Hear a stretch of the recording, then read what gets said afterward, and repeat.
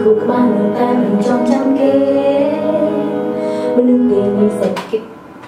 ស្មោះស្នេហ៍ដែលញ៉ៃដែលជប់ជំរាបសួរចាស់ដល់បងប្អូនទាំងអស់និងប្រិយមិត្តទាំងអស់ជាពិសេសអឺដល់ fan fan នាងខ្ញុំ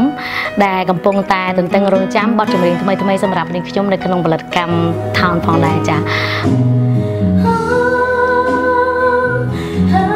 បទចម្រៀងមួយនេះគឺជាបទចម្រៀងទី2សម្រាប់នាងខ្ញុំ original song នៅក្នុងផលិតកម្ម Town ចាស់ដែលអឺបទចម្រៀងនេះពិតជាប្លែកព្រោះអីអឺប្រិយមិត្តយើងមានអឺប្រិយមិត្តយើងមួយចំនួនបានគាត់បានផ្ញើជាសាច់រឿងរបស់គាត់ផ្ទាល់ចាស់ហើយផ្ញើមកដល់អឺអឺក្រុមការងារយើងដើម្បីឲ្យពួកយើងសរសេរជា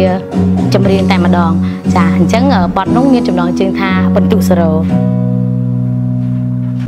Đừng tháo bánh tu xe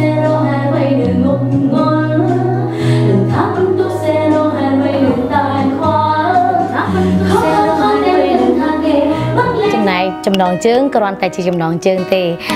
អត្ថន័យនោះបើសិនជាចង់ដឹងនាងខ្ញុំនឹងអឺ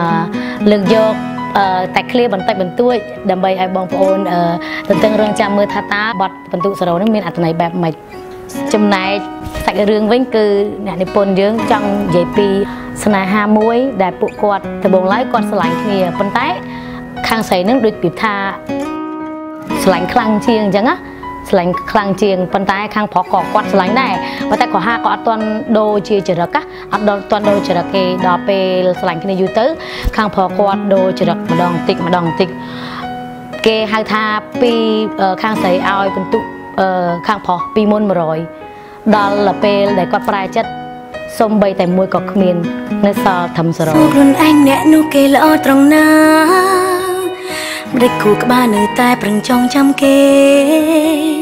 មនុស្សគេនេះស្អីខូចគ្មានចិត្តស្មោះស្នេហ៍ដើរញ៉ៃដាច់យប់